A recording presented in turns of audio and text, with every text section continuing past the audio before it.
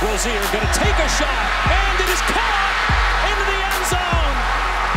Touchdown, Miami! Taking a shot. Caught by Leonard. Another magic miracle by Miami for the win. The Hurricanes come back.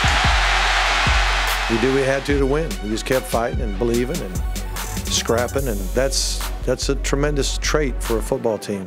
There's something going on uh, that's really good right now. He just makes play after play when he's on the field.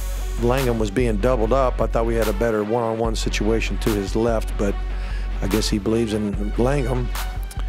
And somehow the ball bopped up in the air and landed in his gut. And, uh, minor miracle.